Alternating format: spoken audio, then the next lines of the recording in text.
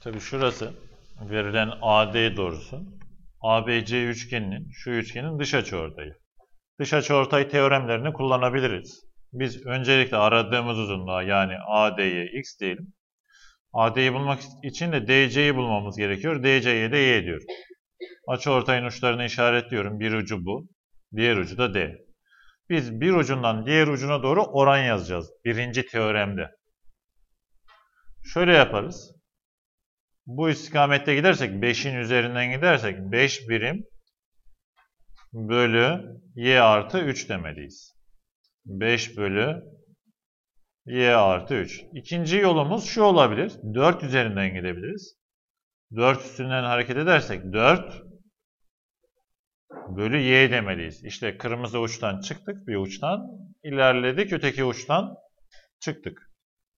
Bu uçtan bu uca geldik. Şöyle gidebiliriz pembe yol üzerinden. Buraya sonra döndük tekrar diğer uca. Şöyle yapmıştık. 4 bölü y demiştik. Sadeleşme yok. Direkt içler dışlar çarpma yapacağız. Buradan buradan şöyle devam ederiz. 5 çarpı y 5y eşittir 4 çarpı 5 şey 4 çarpı y 4y 4 çarpı 3 12 4y'yi alıyorum sola y'ye dönüşür y eşittir 12. Birinci adımı bu. y'yi bulmak. y'yi bulduk 12 olarak. Şimdi gelelim ikinci adıma. Eğer açıortayın uzunluğu isteniyorsa ikinci teorem kullanılmalı. İkinci teorem kareli teoremdi. Şöyle yazıyorduk. x'in karesi.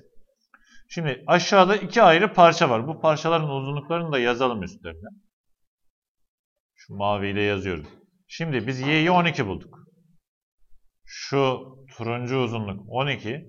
Eğer y 12 ise, burası 12 ise 3 de şurada pembe uzunlukta 15. Aşağıdaki parçalar 12 ve 15. 12 çarpı 15. Bunların çarpımından üstteki parçaları çıkaracağız. 4 çarpı 5 yani. Şu 4 çarpı 5 olacak. Şimdi çarpalım bunları. X'in karesi eşittir. 12 ile 15'i çarpıyorum. Önce 10 ve 15 çarpıyorum. 150 ediyor. İki kez daha çarparsam 2 kere 15 30. 180 eder. 4 çarpı 5 20. Şöyle sağdan devam ediyorum. x'in karesi eşittir. 180'den 20 çıkarsa 160. Kök alırız. Şöyle karekök alıyorum. Bunlar gider. x eşit karekök 160. Yalnız böyle bırakmayız karekök 160 diye düzenlemeliyiz. Çarpanlarını ayıralım. Şimdi yan tarafta ayırıyorum ben çarpanlarına. Biz 160 yerine 16 çarpı 10 yazabiliriz. Şimdi 16 yerine 4 çarpı 4, 10 yerine 2 çarpı 5 yazarız. Şunu 4'leri bir daha parçalayabiliriz ama gerek yok. Böyle yazalım. Asal olmak zorunda değil onlar. Buna eşit oldu. Yani 4 çarpı 4 çarpı 2 çarpı 5.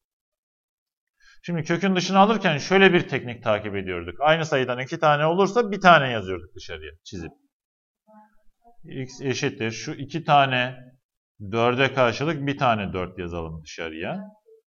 İçeride de 2 ve 5 kaldı. Birer tane var. Bunlar dışarı çıkamayacak. Onları tekrar çarpacağız. Bu nedenle bizim x'imiz 4 karekök 10 olacak. Bu ikisini tekrar çarptım. Dışarı çıkmaz çünkü. İkişer tane yok onlardan. Evet sonucumuz 4 kök 10. Evet var mı anlaşılmıyor mu? BC ile o şeylere e, şu uzunluklara takılmayalım. Diğer tarafa doğru vermiş. Açıortayın yönü diğer tarafta sola doğru vermiş. O yüzden böyle çıktı. Bizim temel yaklaşımımız şu olmalı. Biz parçaları çarpacağız. Açıortayın bir ucundan, bu ucundan bu ucuna gidiyor. Uzunluğumuz bu. Diğeri bu. 4, 12. Diğer parçalar uzun taraftan gidersek 5, 15. Aşağıdaki parçalar 15 ve 12. Yukarıdakiler 4 ve 5. Ay, aynı çıkmaz. Yani harflere takılmayalım. Harflere odaklanmayalım. Kuralımız şurada birinci açıortayda yani birinci iç açıortayı yazarken kullandığımız şu parçalara göre yapıyoruz işlemimizi. Bu parçalara göre. 4 tane parçamız var.